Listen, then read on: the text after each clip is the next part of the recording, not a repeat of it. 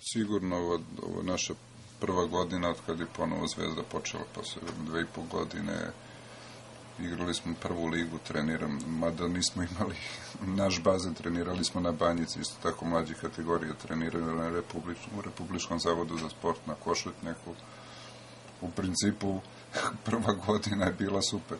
Treće mesto, imali smo šanse čak i da, da uđemo u finale, da igramo s Partizanom i izgub, izgubili smo tu drugu utakmicu u play-offu na, na Tašmajdanu, na, kako ja kažem to, lutrija na, na penale, ali sve u svemu prva godina je super, treće mesto ipak je Vojvodina ekipa koja je igrala, igra već dugo godina zajedno, igra, igrali su i u Ligi šampiona, već godinama igraju s Partizanom u to finale, pošto treća ekipa nije postojala i dobro. Kako on se odlučio da još jednu sezonu produži?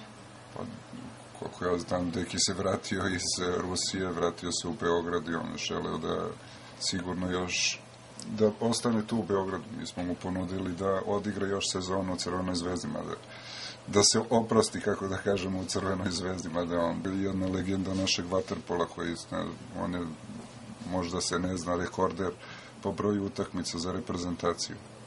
Sigurno tu nema priče.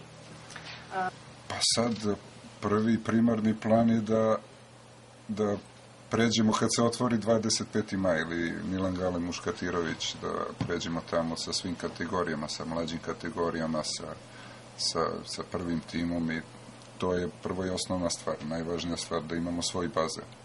A posle normalno sad krećemo u stvaranje nova tima koji će da igra prvog tima koji će da igra naredne godine, pošto uh, u sledećoj sezoni prestoji kvalifikacije za ligu šampiona vidjet ćemo da kakva će ekipa da se napravi to, da šta možemo da uradimo, sigurno. Da biste volili da, da dovedete? Pa sve, evo sad razmišljamo, tek se završila sezona, u principu vidjet ćemo normalno, želeli bi da imamo što jaču ekipu sad, to je sve pitanje od financija normalno. Dobro, znači sada